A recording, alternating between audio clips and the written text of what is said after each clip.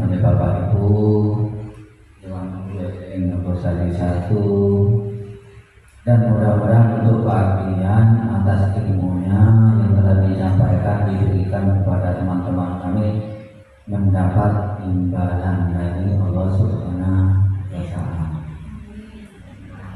Saya kira cukup saya akhiri dan tutup